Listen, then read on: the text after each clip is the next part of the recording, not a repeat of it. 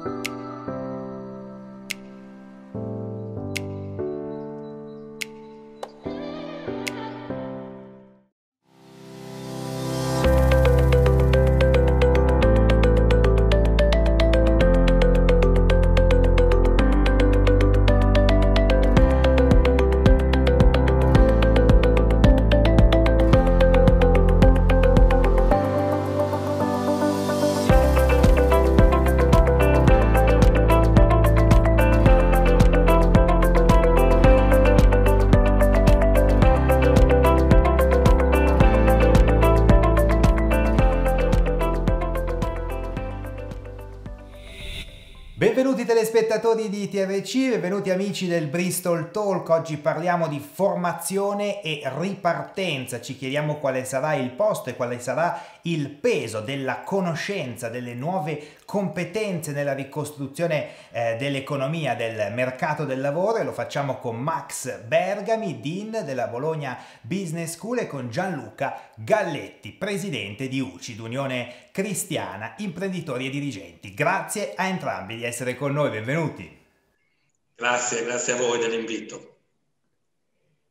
Dunque, grazie dell'invito e buongiorno a tutti. E, e, grazie a voi della disponibilità, della partecipazione. Eh, Presidente Galletti, io vorrei partire da lei perché abbiamo parlato spesso nelle scorse puntate con i nostri ospiti di quali saranno gli orizzonti economici che dobbiamo aspettarci. Se dobbiamo parlare anche di, di formazione, di competenze, di mercato del lavoro, dobbiamo assolutamente partire da lì. Prodi qualche settimana fa ci diceva tutto sta nella campagna vaccinale.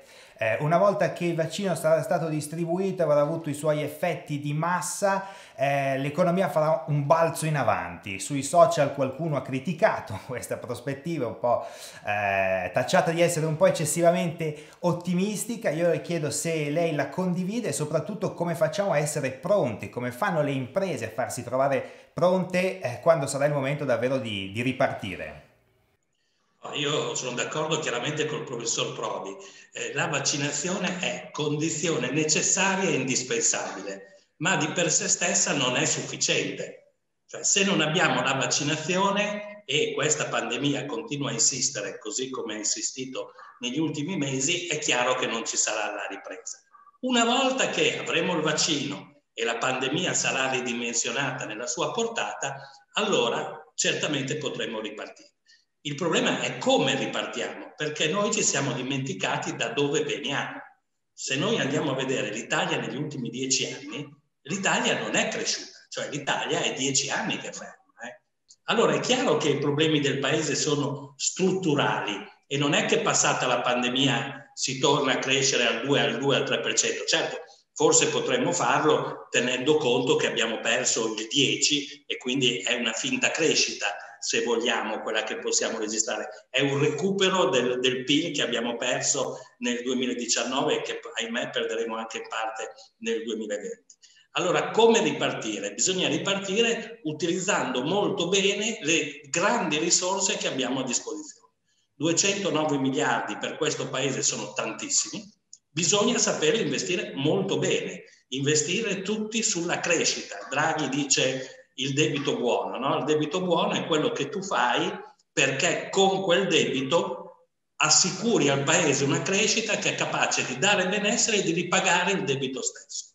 Professor Bergami, spendere bene le risorse, dice Galletti, molte volte quando si parla di ripartenza sentiamo eh, discorsi che riguardano la spesa pubblica, riguardano gli investimenti privati con diverse combinazioni, composizioni, ma io le chiedo eh, il posto della formazione in tutto questo, perché molte volte sentiamo parlare appunto di asset fisici, di beni materiali dobbiamo, eh, in cui dobbiamo investire. Eh, le conoscenze, le competenze, qual è il posto eh, di questi asset? La preoccupazione principale, quindi, eh, di gran lunga principale, è quella che fa riferimento ai ragazzini, ai ragazzi, al, agli studenti e eh, su questa dobbiamo veramente cercare di creare le condizioni da una parte per far ripartire il più in fretta possibile nel grado di sicurezza più elevato, dall'altra parte di non,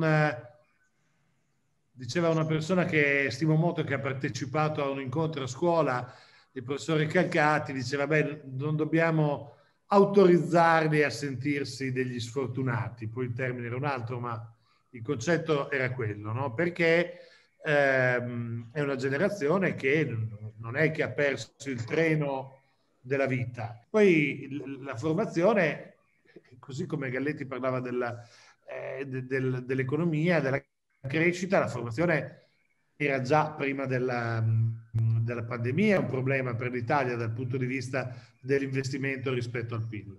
E per quanto riguarda noi, eh, la formazione manageriale si sa da molti studi che è anticiclica, almeno per quanto riguarda la spesa privata.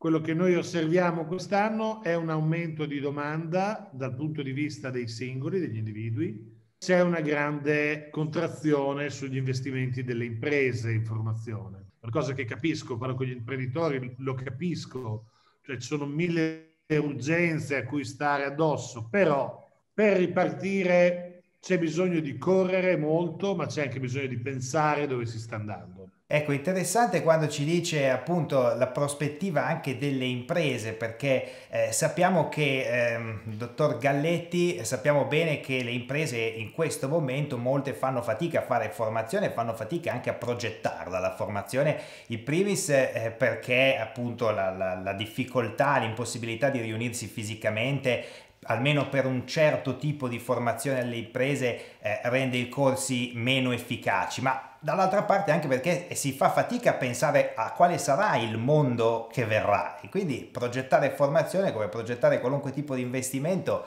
può essere difficile. Eh, dal suo punto di vista che dire riguardo? Io capisco bene lo smarrimento degli imprenditori no? davanti a uno shock di questo genere come quello che abbiamo vissuto nell'ultimo anno, con un paese che si è dimostrato non resiliente allo shock e anche le imprese, eh, anche responsabilità di, di, una parte degli imprenditori di non essere preparati a uno shock del tutto imprevisto, però eh, quella è anche capacità di prevedere il futuro. No? Capisco bene che la prima reazione sia quella di concentrarsi sul business senza pensare a quello che diceva il professor Bergami prima, che invece è la vera carta vincente, che è la visione del futuro. Devo dire che in termini di grandi paradigmi è tutto abbastanza facile, no? sappiamo quali sono i, i 3-4 temi sul quale bisognerà andare, sono la sostenibilità, la digitalizzazione, la ricerca e lo sviluppo, la sanità, no? rafforzare la sanità, quindi le, le grandi macro aree, macro aree le conosciamo già. Eh, c'è la capacità dell'imprenditore di inserirsi, di, sulla base di questo di costruire il proprio futuro e la formazione sarà la base di questo. Guardate, io leggevo un dato OXE di qualche mese, di qualche mese fa. Il 15,5% dei lavoratori, eh, dei, dei, lavori che oggi conosciamo, con l'automatizzazione, con l'informatizzazione, nei prossimi anni non esisterà più. Il 35% verranno radicalmente cambiati. Dall'altra parte il 38% dei nostri lavoratori ha basse, in confronto agli altri paesi, ha basse capacità numeriche e, linguistiche. Che cosa vuole dire questo? Vuole dire che abbiamo bisogno di formazione come il pane. Di BBS ce ne vogliono 100, non, una, non un'eccellenza sola, no? come la BBS, o poche in Italia. Abbiamo bisogno di tante BBS perché lì deve uscire la classe manageriale imprenditoriale del futuro capace di guardare nuovo, quei nuovi scenari che sono davanti a noi. Chi oggi ha la mia età, io il prossimo anno, quest'anno ahimè, faccio 60 anni, farà fatica a capire la nuova visione, farà fatica a lavorare lì, no? Allora abbiamo bisogno di manager giovani, imprenditori giovani, capaci di comprendere quali sono le nuove dinamiche. La formazione sta alla base di quello. Avremo bisogno anche di un'altra cosa, di una, eh, di una formazione continua durante il percorso lavorativo. Non ci saranno più lavori che dureranno tutta la vita, no? Quindi anche la capacità dei manager e anche dei lavoratori in generale di riformarsi durante il corso della loro vita lavorativa. La formazione sarà alla base della nostra ripresa Se non avremo formazione, noi non avremo una ripresa eh, tale da potersi definire così. E dunque Bergami da questo punto di vista, cioè, per molti può essere difficile al momento attuale immaginare il futuro, anche perché eh, siamo in un momento di incertezza ora, le sfide del passato, cioè del passato del, del, del, che avevamo individuato già eh, come ardue prima che la pan- pandemia colpisse rimangono, l'avete detto, digitale, la transizione ecologica, industria 4.0, eh, come trovare dei punti di riferimento in, in, in questo quadro così complesso? Credo che la, la, l'unica certezza che abbiamo sia il grado di incertezza e quindi su questo bisogna costruire. In passato tutto il management ha lavorato in termini di riduzione dell'incertezza non vi sto ad annoiare con uh, nomi di ricercatori, di, di teorici, di... però sostanzialmente l'azione manageriale è riduco l'incertezza, la proteggo, proteggo il, il, nucleo, il nucleo tecnico della mia azione e poi dopo lascio che ci siano dei pezzettini intorno che magari si occupano di gestire l'incertezza. Oggi questa strategia è una strategia che, certo, in alcuni contesti dovrà essere ancora utilizzata. So, trasporto ferroviario, il trasporto aereo, vorremmo che l'incertezza eh, sia ben controllata, però a livello macro l'incertezza veramente diventa endemica rispetto al nostro sistema sociale. E quindi che, di cosa hai bisogno se hai, se hai un'incertezza così persistente che deriva da tante... Adesso noi siamo figli dell'incertezza derivante dalla pandemia, ma non solo, eh, perché eh, ci arriva l'incertezza legata agli equilibri geopolitici, ci arriva l'incertezza legata al clima, ci arriva l'incertezza legata all'innovazione, ci arriva l'incertezza legata al nuovo ruolo che ad esempio le grandi big tech giocano sui sistemi democratici. Cioè abbiamo incertezza che salta fuori da tutte le parti e quindi la grande competenza è quella di eh, saper vivere e eh, affrontare l'incertezza, accettandola, reagendo senza la speranza di annullarla. Professore, per quanto riguarda il futuro, appunto c'è questa grande eh, attesa, questa grande tensione, vediamo che c'è un, un rendering alle sue spalle, di che cosa si tratta? Questa è la nuova sede del campus della scuola, sul retro c'è la villa, Villa Questa Villani, di fronte ci sono una serie di edifici nuovi eh, che rappresentano il recupero di un intervento immobiliare eh, che era in corso e poi era stato bloccato, mi pare, o comunque non era concluso, eh, che, la scuola, che la fondazione ha acquisito e mh, mm, che diventerà un grande spazio integrato con eh, Villa Guastavillani, che è un luogo simbolico, però nel quale non stiamo più. Tra l'altro in questa sede, che è composta di tre edifici, due dei quali verranno poi collegati da un padiglione, ehm, troverà a casa il centro eh, per la sostenibilità e il cambiamento climatico, cambiamenti climatici, che ehm, diventa ancora una volta un luogo in cui l'interdisciplinarietà trova una bella espressione l'università ha bandito eh, una serie di posizioni non soltanto per docenti di management, ma su tutte le discipline dell'Ateneo, quindi andiamo da eh, persone nell'ambito delle scienze alla giurisprudenza, all'ingegneria, e lì troveranno un luogo in cui veramente potranno lavorare insieme, loro insieme anche a ehm, persone di impresa, perché non dimentichiamo che la scuola, ehm, forse l'unica, ha inserito in tutti i corsi master un insegnamento sulla sostenibilità. Non è un insegnamento teorico, è qualcosa fatto insieme tra ricercatori, docenti e eh, uomini e donne d'azienda perché anche la visione pratica integrata con quella accademica è una forma di interdisciplinarietà. È quindi molto interessante questo bel investimento nel futuro della Bologna Business School nel segno della sostenibilità. Galletti, le faccio commentare un brevissimo eh, estratto di un'intervista che abbiamo fatto a Enrico Giovannini proprio sulla sostenibilità, proprio sul fatto eh, della sua, eh, come dire, dell'impossibilità di eludere questa dimensione eh, per l'economia che verrà. Lo ascoltiamo, poi torniamo subito dai nostri ospiti.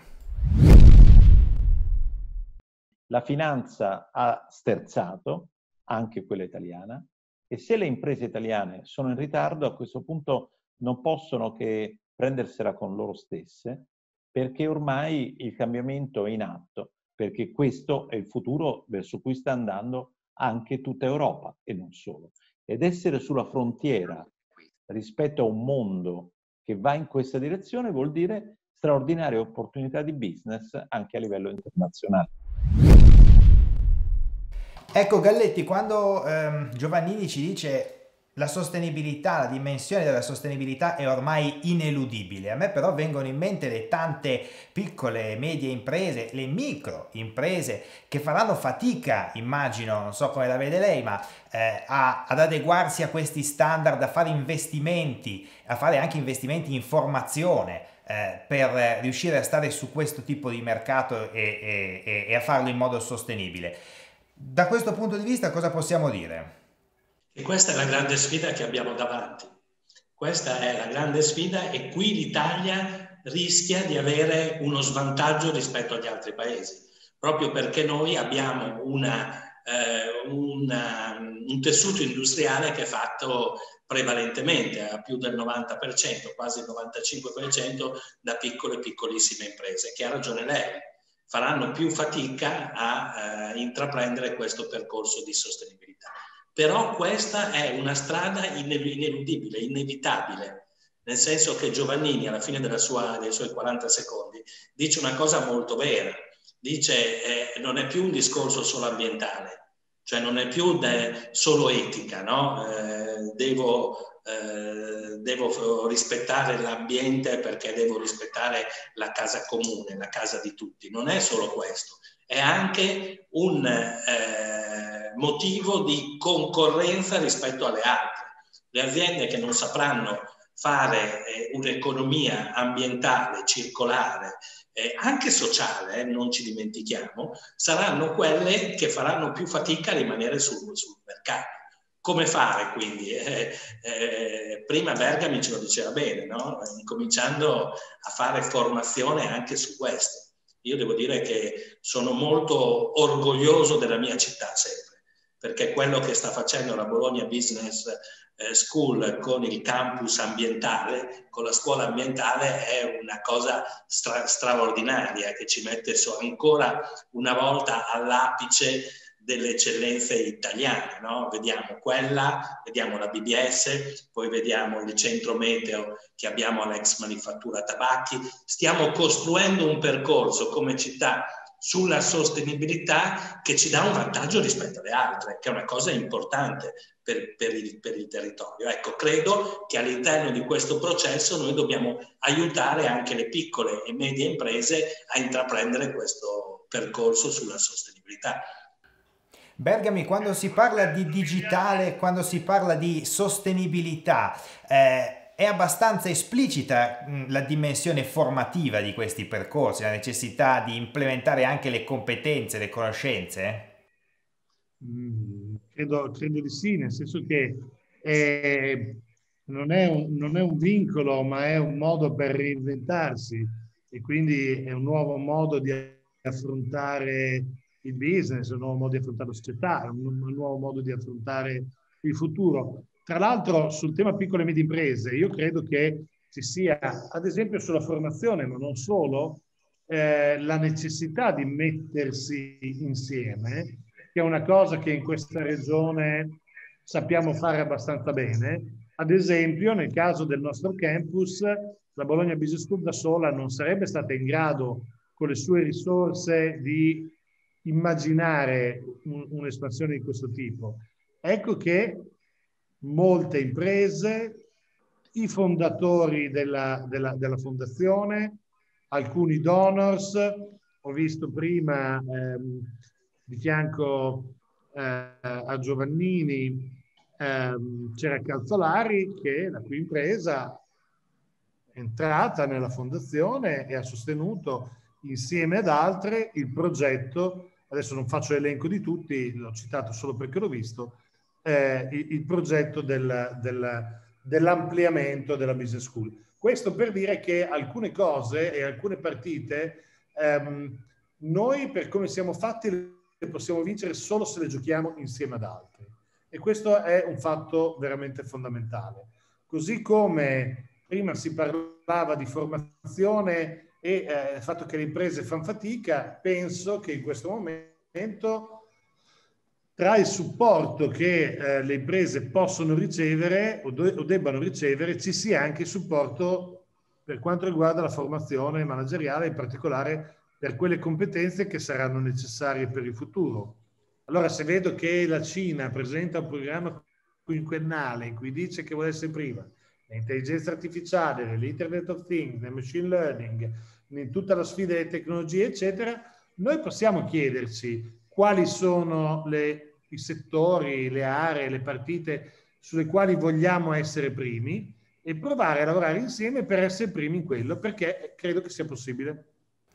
Ecco, Presidente Galletti, eh, l'aspirazione a essere primi certamente, voglio dire, eh, è, è, presente anche se difficile da interpretare nel nostro tessuto imprenditoriale, ma lei prima mh, indicava una parola molto particolare che, eh, voglio dire, oggi si parla molto di etica, di etica degli affari.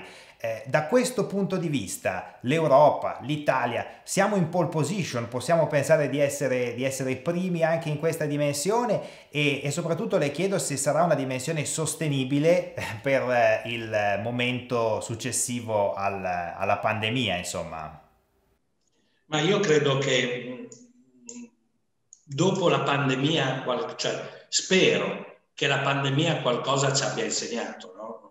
Credo che sarà necessario rimettere al centro l'etica e, e, e i valori nel fare impresa. Eh, va costruita un'economia che abbia valori profondamente diversi, la dico pari pari. Non può più essere solo la redditività dell'impresa, la misurazione di quell'impresa, ma devono essere degli indicatori molto diversi. Abbiamo parlato di sostenibilità, l'indicatore della sostenibilità sta diventando un indicatore importante anche ad esempio per l'accesso alla finanza. Sempre di più, lo vedrete nei prossimi mesi, il fatto di, essere, di avere fatto politiche ambientalmente corrette ti permette di avere un accesso al credito migliore sia in termini qualitativi che quantitativi. Eh, la stessa cosa varrà per i valori dell'azienda no? per eh, la tua capacità di mettere i tuoi lavoratori al centro. Eh, se facciamo riferimento a quegli indicatori che sono gli SG, no? ambiente, sociale e governance. Ecco, sempre di più quei parametri diventeranno fondamentali per misurare l'efficienza di, una, di un'azienda e sempre di più i consumatori ne terranno presente. Eh? Nelle loro scelte dei consumi, sempre di più questi parametri diventeranno importanti. Allora io credo che l'etica, che ha molto a che fare con l'ambiente, col sociale e con la governance, abbia nel, nel nostro futuro un, un, un, grande spazio che ahimè non ha avuto fino ad oggi. Bergami, mm, ci parlava eh, l'assessore Lombardo ehm, in una delle nostre scorse puntate di un eh, paradosso, quello per cui eh, c'è molta domanda e molta offerta al contempo di lavoro, ma le due cose non si incrociano, insomma le aziende cercano lavoratori che abbiano competenze diverse dalle competenze che sono possedute dai lavoratori che cercano lavoro. E allora io le chiedo, da questo punto di vista, come può ehm, influire, qual è il ehm, eh, l'effetto che possiamo aspettarci dalla, dalla formazione e soprattutto dall'alta formazione? il, è l'effetto fisiologico di quello che fa un uh, soggetto come noi, eh, quello di cercare di allineare la domanda e l'offerta guardando al futuro, non guardando troppo al presente, ma guardando il più possibile al futuro. Ecco, questo è quello che si tenta di fare, no? Poi nel dettaglio potremo entrare, però eh, i corsi sono una cinquantina e quindi vorrei evitare di annoiarvi, è sufficiente andare sul sito della scuola, ma questo è quello che si cerca di fare. Io sento molti imprenditori, molti executive che mi dicono, ah, io non riesco a trovare queste persone e contemporaneamente ci sono molti giovani che fanno fatica a inserirsi. Allora è ovvio che quando tu vivi per un anno in un contesto che mette insieme gli accademici, i, i manager, gli, imprenditori, gli studenti, magari anche di paesi diversi, di background diversi, eccetera, si crea un, un contesto che è un contesto di apprendimento che fa sì che quando la persona fa il salto magari sia un po' più allineata rispetto a quelle che sono le aspettative, anche se insomma le imprese non possono troppo delegare alle istituzioni educative dei pezzi che comunque fanno anche parte di quello che è l'onboarding, portare a bordo le persone, no? Oppure quantomeno se lo vogliono delegare bisogna che riconoscano il ruolo che delegano, ecco. Ecco, professore, da questo punto di vista si dice anche che le imprese, non so se è un pregiudizio mio o nostro, eh, che le imprese siano ancora troppo poco sensibili al tema della formazione come leva strategica eh, poi per gli affari e eh, tanto più ora per la ripartenza. Io eh, ricordo personalmente un imprenditore che mi disse ma sai noi di formazione non ne facciamo tanta, sa qui si lavora, no? come a dire che ci sono delle priorità eh, di, di, diverso tipo. Eh, esiste questa mentalità? C'è un problema culturale da questo punto di vista o sono pregiudizi superati? Ma è un... Um diciamo forse il retaggio di un mondo in cui la specializzazione funzionale eh, relegava anche soggetti diversi a ruoli molto differenziati. Quindi tu fai la formazione, io produco, quell'altro amministra. Ecco, oggi probabilmente io per produrre ho bisogno che quello della, che fa la formazione faccia una formazione adatta a quello che io faccio. Io che faccio la formazione per non fare una formazione che è teorica in senso sterile, no? perché poi le buone teorie invece hanno una grande applicazione pratica, ma che corrisponde un po' a dove va il mondo, ho bisogno di integrarmi il più possibile con chi produce e poi dopo c'è chi amministra che deve riuscire, e in Emilia Romagna mi sembra che lo si faccia abbastanza bene, debba riuscire a, a, a giocare anche un pochino la costruzione del quadro in cui questo avviene, no? il, il campo di gioco, insomma. Ecco, Presidente Galletti, lei prima faceva riferimento alle risorse del Recovery Fund. Eh, da questo punto di vista molti temono che la carenza di formazione, la carenza di competenze tocchi la politica. Le faccio ascoltare un piccolo intervento in questo senso di Rudy Bogni, che per tutta la vita si è occupato di, di banche e di finanza, e poi glielo faccio commentare.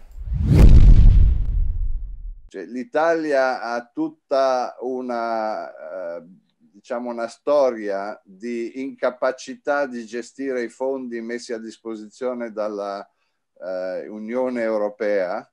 Uh, da Pompei, il caso più eclatante del passato, a tanti tanti altri progetti dove i soldi erano disponibili ma non si è fatto niente. Devo dire che uh, sono uh, quasi più um, diciamo, eh, tranquillo con le scelte fatte da profes- manager professionisti che da politici con poca conoscenza sia dell'economia sia della gestione di progetti e così via.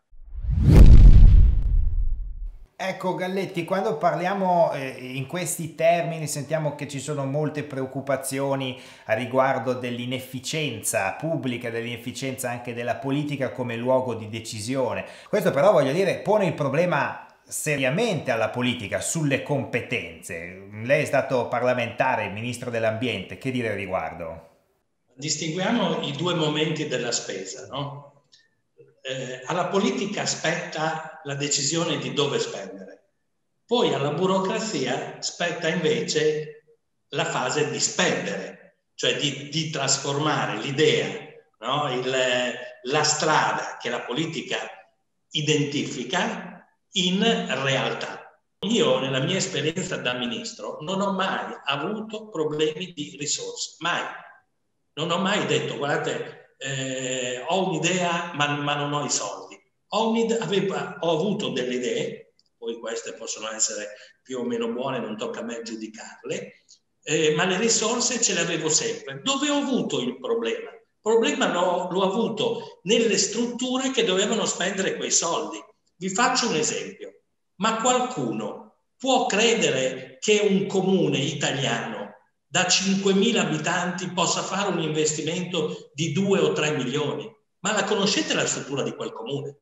Quel comune ha un segretario a scavalco che ci va due volte alla settimana e non sarà mai in grado di fare la progettazione, eh, la progettazione del bando, l'aggiudicazione del bando per arrivare al lavoro.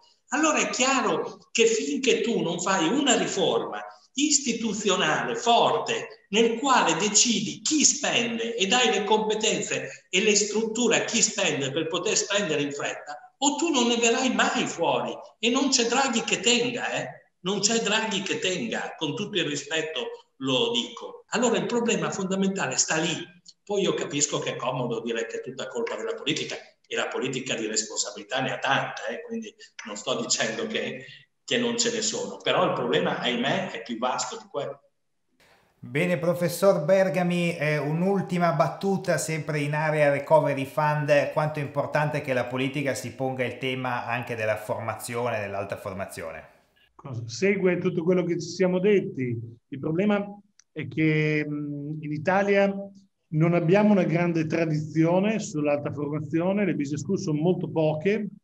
Um, le due più grandi sono di università private, poi ce ne sono due di dimensione in crescita, diciamo, che sono Bologna e Politecnico di Milano, e poi altre cose più, più locali. E quindi è anche poi difficile eh, veicolare no? attraverso un sistema. Più di una volta abbiamo discusso sulla necessità di creare una rete di strutture che svolgano questa funzione eh, di formazione dei dirigenti ehm, come in altri paesi. L'Italia ha tante città, ognuna delle quali, tante regioni, tanti territori, nei quali è forte in qualcosa e che probabilmente potrebbe aspirare ad avere un, un, un centro, comunque un, uh, un, hub legato anche a degli altri che aiuta eh, lo sviluppo delle persone e le accompagna verso le nuove sfide. Credo che sia una cosa molto auspicabile e chissà che un governo fatto di persone che si sono confrontate con questi problemi possa avere anche una maggiore sensibilità in merito. Bene, noi ringraziamo davvero i nostri ospiti. Chiudiamo qui. Eh, davvero grazie a eh, Gianluca Galletti e a Max Bergami per essere stati con noi. Grazie a voi, davvero. Grazie a lei, grazie Gianluca, grazie per uh, il piacevole tempo trascorso insieme. Altrettanto, grazie a voi e grazie anche a tutti voi che ci avete seguiti. Mi raccomando, prossima settimana siamo sempre qui, TRC Bologna. Arrivederci.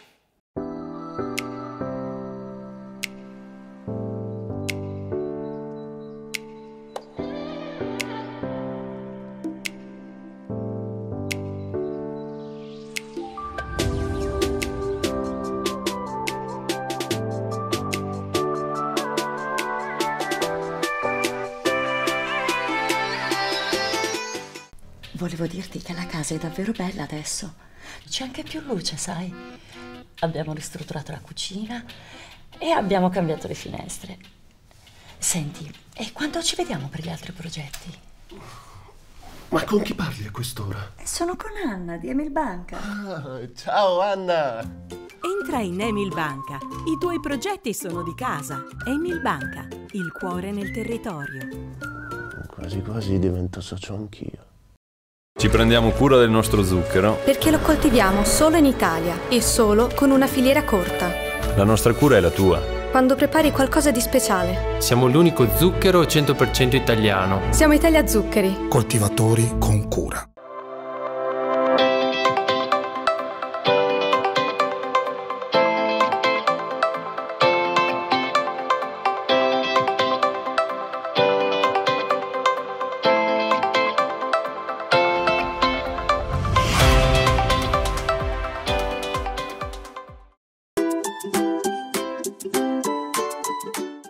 È sempre più a portata di mano e sempre più spesso oggi i prodotti viaggiano online. In tempo di Covid poi l'e-commerce ha permesso di diminuire i rischi di contagio. Anche Granarolo infatti, in risposta alla pandemia, ha creato una piattaforma online che permette di acquistare direttamente dall'azienda.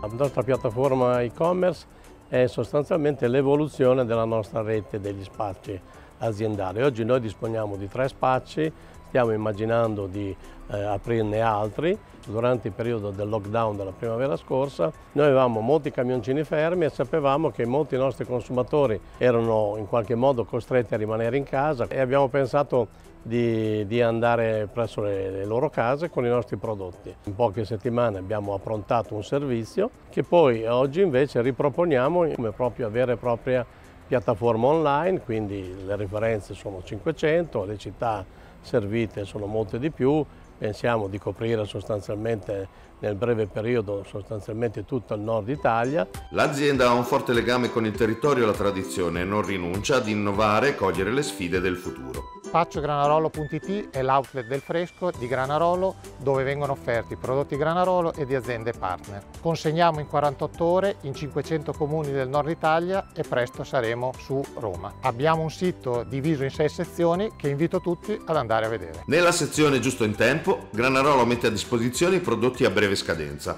un modo per evitare lo spreco alimentare. L'iniziativa di non eh, sprecare prodotti che abbiano una vita ancora adeguata per essere consegnati e consumati, ma che per la grande distribuzione, per le norme eh, tipiche della grande distribuzione, non trovano uno sbocco commerciale. Quindi sarebbero prodotti che magari nel breve periodo dovremmo magari portare in distruzione che invece possiamo utilizzare. Credo che sia una delle iniziative etiche che un'azienda deve fare e deve trovare eh, complicità positiva con i propri consumatori.